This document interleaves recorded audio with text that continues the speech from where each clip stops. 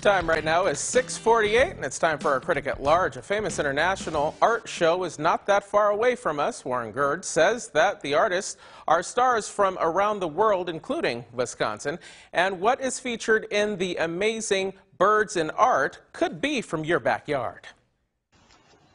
Everybody knows birds. That's one reason why Birds in Art is popular. Every autumn, the Leigh Yawkey Woodson Art Museum in Wausau puts on the dynamic competition. The show of the winners is a kaleidoscope of styles, mediums, and especially imaginations.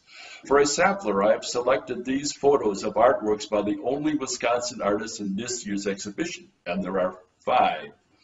An oil painting by Jan McAllister Stomes of Owen in central Wisconsin a hand-colored woodcut by S.V. Medaris of Mount Horeb, an acrylic on canvas painting by Shelley K. Breitsman in Foxboro in northwest Wisconsin.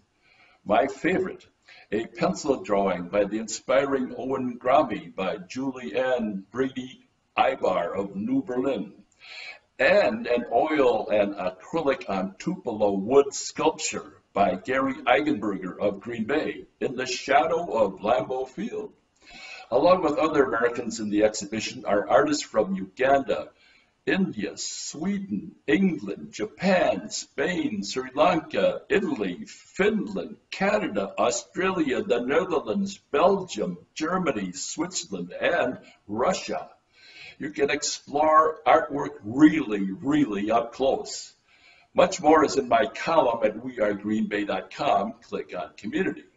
The exhibition continues to November 29th at the Woodson Art Museum in Wausau. You can take photographs and admission is free.